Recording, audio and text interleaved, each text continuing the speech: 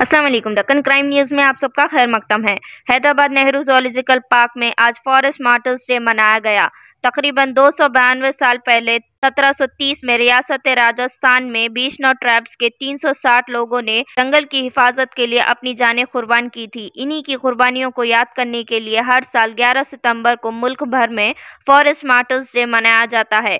साल उन्नीस सौ चौरासी से लेकर अब तक हमारी रियासत में 21 फॉरेस्ट ऑफिसर्स ने हिम्मत और लगन से काम करते हुए फॉरेस्ट वेल्थ की हिफाजत में कई फॉरेस्ट डिपार्टमेंट के एम्प्लॉयज़ और स्टाफ ने अपनी कीमती जानें गंवाई। इसी मौके पर तेलंगाना स्टेट्स के एनवायरनमेंट फॉरेस्ट साइंस और टेक्नोलॉजी के मिनिस्टर श्री ए इंदिरा किरण रेड्डी और दूसरे मिनिस्टर्स ने इन सभी शहीदों को खराज तकसीम की। आइए देखते हैं पूरी तफसीलात डकन क्राइम न्यूज़ पे।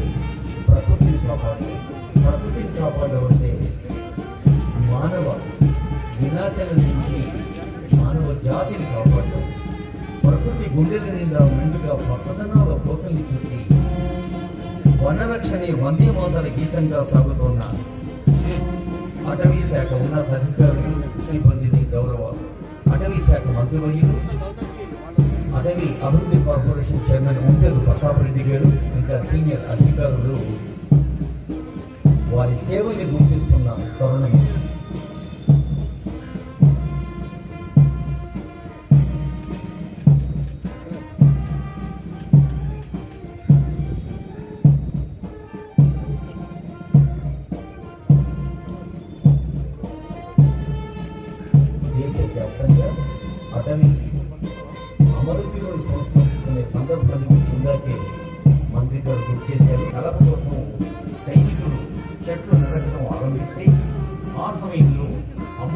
అమృతాదేవిగా గుర్తించబడ్డ ఒక తల్లి పవిత్రమైన కేటలి చెట్టుకు బదులుగా ప్రత్యేకం తర్వాత సైనికులు అమృత పిల్లలతో సహా మూడు వందల యాభై మంది ప్రాణాలు బలి ఉన్నారు ఈ ఊతకోత గురించి విన్నవెంటనే ఆశ్చర్యపోయిన రాజు ఆ చర్యను వెంటనే నిలుపుదల చేయమంటూ ఆదేశాలు చెప్పడం ఆ కృష్ణుని గిరిజన తెగకు చెందిన వారందరికీ క్షమాపణ చెప్పడం అభయ్ సింగ్ కృష్ణ గ్రామాలు ఉన్న ప్రాంతాల్లో చెట్లు నరికివేయడం జంతువుని చంపడాన్ని నిషేధించడం జరిగింది సంఘటన గుర్తుగా అటవీ అమరవీర సంస్మరణ కోసం ఈరోజు భారత దేశ వ్యాప్తంగా అటవీ అమరవీరుల సంస్మరణ జరుపుకుంటున్నాం.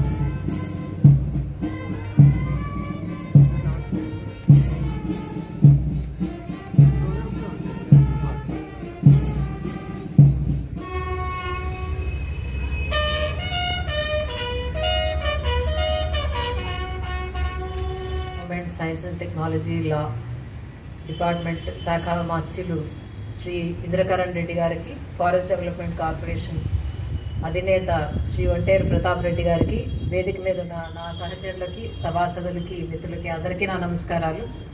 ముందుగా అటవీ పరిరక్షణ కోసం ప్రాణాలు అర్పించిన ఇరవై ఒక్క మంది సిబ్బంది వీరులు అటవీ వీరులకి ప్రత్యేకంగా శ్రద్ధాంజలి ఘటిస్తూ మరియు వారి కుటుంబాలకి నా సంతాపాన్ని మరొకసారి తెలియజేసుకుంటూ ఇంతకుముందు మాట్లాడిన వక్తలు ఈ ఈ రోజు యొక్క విశిష్టత గురించి చెప్పారు. చాలామంది మీ ఉద్యోగం జీతం కోసం పనిచేస్తే కొంతమంది ప్రా వారి స్ఫూర్తితో అడవుల పరిరక్షణ కొరకు అడవుల పెంపకానికి మనం దోహదపడుతుంది. అటవీ క్షేత్రాలలో కూడా పనిచేసేవారు.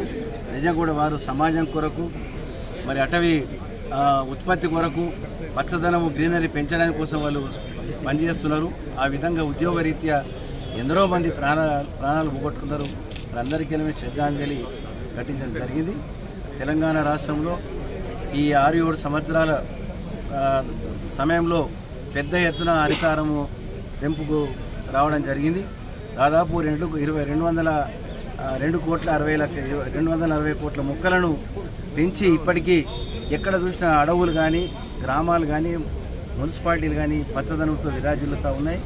దానికి పది పర్సెంట్ గ్రీన్ బడ్జెట్ అలాట్మెంట్ చేయడం వల్ల ప్రతి గ్రామ పంచాయతీలోనూ నర్సరీ రావడం మూలంగా గ్రామ పంచాయతీలన్నీ కూడా పచ్చదనంతో కనబడుతూ ఉన్నాయి. నర్సరీలు ప్రతి గ్రామంలో ఉన్నాయి.